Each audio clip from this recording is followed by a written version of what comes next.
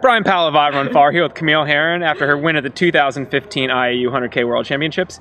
Camille, you've had a very special day. You have three beers in your hand. What's the best beer you've had so far? Uh, this triple is pretty good. uh, along with that, you won a world championship today. Uh, how does that feel? uh, yeah, it's it's kind of sinking in. Uh, I was actually more excited about the, the team title. Uh, I when I heard that that, that we were uh, that we were like I guess on pace to like win the team title. I think that that gave me more incentive to, to keep going even though I was not feeling too well. So um, I was real excited to, to just do the best that I could to uh-huh. help the team. So and it did matter because the yeah. third place woman on Sweden, who was the, the running up team, yeah, was well ahead of Megan Arbogast, who was the third woman on the U.S. Yeah. team, and your time gap on Kajsa Berg made a difference, as did Sarah Bardstrong. Exactly. Yeah, I was so. I was real excited to hear that it was cumulative time because I was like I was like, oh gosh, I gotta run as fast as I can, mm-hmm. you know, like because it all evens out. And so when I um, passed Megan. Uh, coming in towards the finish, and I was cheering her on. She's cheering me on, and I'm thinking, my gosh, I sure hope we win the team title. so I was probably more excited about that than, than actually like winning. And so um, so yeah, I definitely like the team aspect for sure. You were definitely excited early in the race. I think you went out in uh, three. Uh, three twenty four. Yeah, three twenty four. Yeah. So you were like sub 650 pace. Yeah, yeah. So so um so I had I had done my research and looked at past results to see what mm-hmm. the the 7-hour women had run and so um Ann Trason had run 322 through halfway and so uh, and then I think another seven, seven hour woman had run like 326 through halfway. So I knew that I had to hit somewhere between 722, 726 okay. to have a shot at sub seven hours. Um, and so I was I was feeling great and everything. Uh, what happened was I actually started puking on this uh, from about 65k and onwards.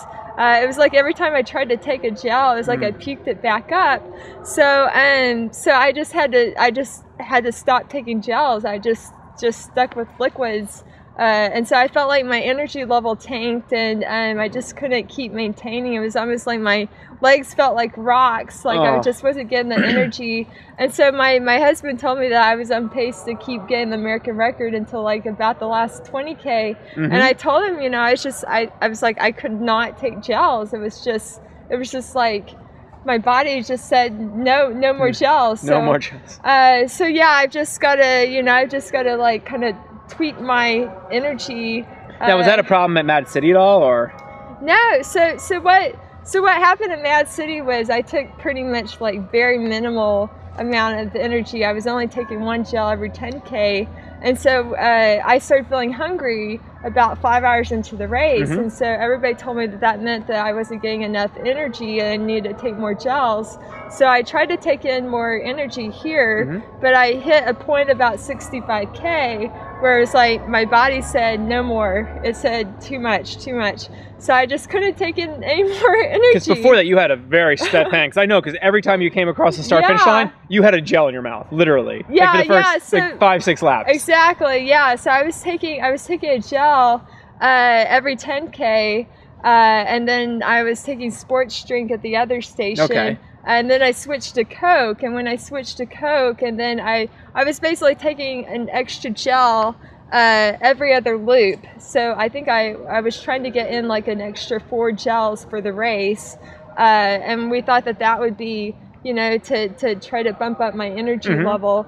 Uh, but I just hit a point where it's like I I've never puked in a race. I started. It's the first time. All right. I, I started puking, and I was just like, oh my gosh, I've never puked before. So so I told myself just to stay calm. I said, okay, just stay calm, just keep maintaining. You know, if I'm hitting 45, 46 minutes, it's okay. I've got mm-hmm. enough of a cushion on on whoever. I think they told me I was like at least 10 minutes ahead of second place. So even though like I that that American record starts to slip away from me, uh, when I heard that that we were on pace to win the team title, mm-hmm. I said, okay, just just stay calm, keep maintaining you know just just concentrate on just trying to get the win and you know i'm still going to run a fast time and you did you ran What do you end at? What was your final time? Uh, like 708. Which is tremendously fast. Like you ran a fast debut. That's a whole nother level yeah, I'm up. spilling my beer. Yeah, you better drink some of that. What is, I mean, I know you were shooting for sub seven, but that's still Yeah, pretty incredible. So yeah, so I, I started passing some of the men on, on, on Team USA and and I was like, oh my gosh, I, I, I, I mean I didn't know what to think of it because I know that they're all like really good, but uh, yeah, I think I think I'm just born to do this. Uh, you know, I just gotta just tweak the energy thing. so you're not swearing off 100k r- races, No, no, I actually felt like this mentally and physically, I was definitely more prepared for this race. And um, I'm definitely, I'm still going to be pursuing that American record. I just got to keep tweaking. I'm, I'm still very ripe at ultras and you know i've just got to like tweak a couple of things and um, i'm gonna nail this one of these days i'm just gonna keep trying Nice. so Do you have Yeah. anything uh, planned for the rest of the year? Any any major Um, goals? so I actually I committed to the US 50K team in uh, Doha in December. Uh, so uh, yeah, I feel like I'm in pretty good shape right now. I mean, I went through in 324 today, so So do you happen to know offhand what the American 50k record is? uh, yeah. So so I I mean I've got goals to go after every single ultra record. I think I was under uh, American record pace for 50 miles today, but they didn't have a 50 50 mile Mhm. uh, marker on the course. It would have been yeah yeah. Yeah, yeah. I think I was. I, I was trying to do the math of when I hit 80k, and I was at like maybe like 530 something, and the American record's like 540. Yeah, you were you were like I, 535 or something, and it was clear that that Yeah. little bit of difference you would have been under, but Yeah, yeah. So, uh, so yeah. I mean, I've got I've got my sight on trying to. Uh, you know, it's really important for me to make sure that I'm rested for the races. I know that there's going to be lots of opportunities. Mhm. Everybody's going to be wanting me to go to their race or do this, this and that trail race. But uh, you know, I'm 33. I've only got like about you know a five or ten year window to go for all the American records on the road or the track or what have you. So um, I've just got to be very careful to plot and plan uh, my races and uh, you know make sure I'm fresh. You know, got a good fast course.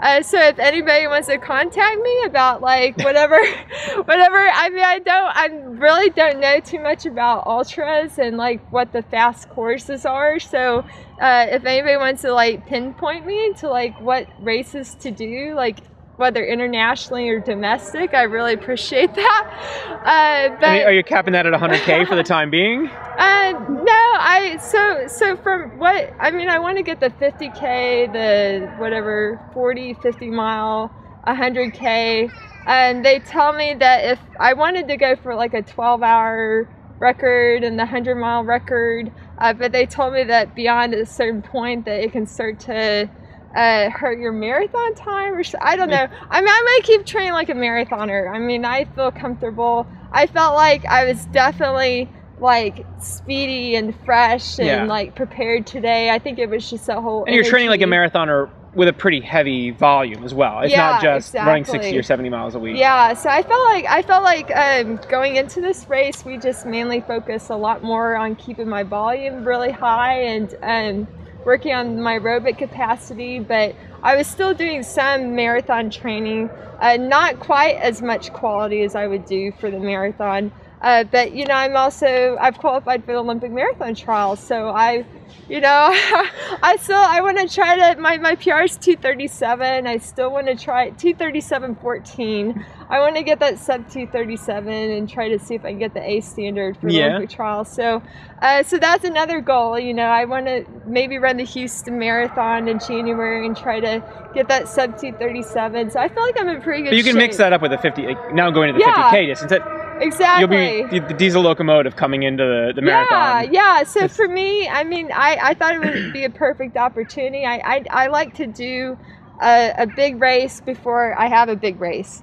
So Just keep so I thought I thought I would do Doha in December, and then six weeks later bounce back for Houston and try to get the A standard there, and then run the Olympic trials in February. So um, And then maybe a little break.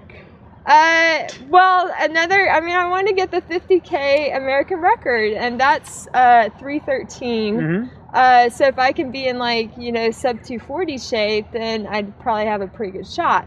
So uh, I've got to kind of like plot and plan.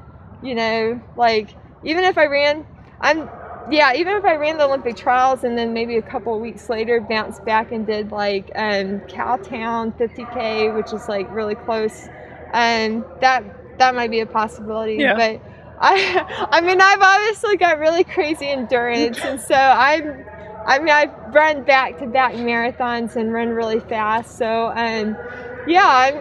Well, sounds like you're excited about this, Camille. I'm probably more excited about the beer right now. Well, let's Um, enjoy that. Yeah, yeah, I gotta enjoy this beer. It's really, really pretty good. The Trap. So, Is that the only Trappist brewery in the Netherlands? There you go. oh really? Yeah. Along with nine in Belgium. Oh yeah, Six. check that out. Oh my gosh! Well, it's only got eight percent Oh, alcohol. only- Shucks. we better go I'm find something a little stronger. I've been drinking these nine percent beers, so this is a little weak. Well, congratulations, Camille. Thank you. Enjoy your celebration. I will for sure.